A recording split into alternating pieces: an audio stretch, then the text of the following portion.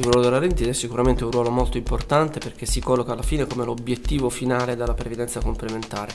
Senza rendita non c'è previdenza complementare. E anche la ragione per cui poi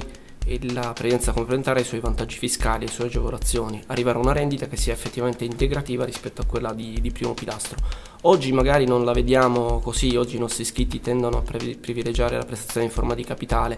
anche perché fondamentalmente le prestazioni di primo pilastro sono abbastanza generose ancora, veniamo ancora con rendite di primo pilastro costruite prevalentemente con retributivo, in cui effettivamente non c'è una grossa necessità di integrazione. Con la previdenza complementare del domani, soprattutto per i giovani che sono contributivi, abbiamo una riduzione significativa del tasso di sostituzione e quindi la rendita diventa una, una necessità, un qualcosa di cui non si potrà fare a meno. Oggi sostanzialmente quei capitali, peraltro la scelta della rendita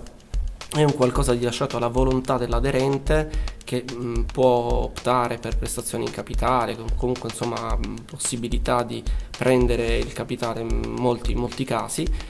ma la rendita è comunque la prestazione pensionistica vitalizia per eccellenza, è quella a cui i fondi pensione ambiscono, su, sulla quale costruiscono la propria politica di investimento. I pericoli del FADETE sono molto, molto gravi.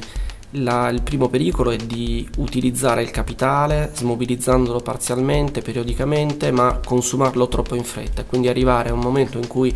siamo ancora vivi, noi pensavamo di avere una speranza di vita più ridotta ma siamo ancora vivi, abbiamo esaurito tutte le risorse e quindi non abbiamo più come fare, non abbiamo più alternative. L'altro pericolo, un pericolo, meno rilevante, eh, è quello di vivere al di sotto delle proprie possibilità, quindi consumare molto di meno rispetto a quello che potremmo permetterci e quindi arrivare alla morte avendo delle risorse. Questo non è necessariamente un fatto negativo, anzi in genere noi italiani privilegiamo questa eh, questo desiderio di lasciare qualcosa ai nostri eredi, però ci sono anche delle rendite che ci consentono di vivere nostri, nostri, il nostro livello, insomma in base alla nostra speranza di vita, ma attivando delle opzioni possiamo comunque lasciare qualcosa ai nostri eredi. Penso alla rendita certa per 5-10 anni attivabile dal, da chi è iscritto al Fondo Solidarietà Veneto, piuttosto che alla reversibile, piuttosto che anche alla rendita controassicurata.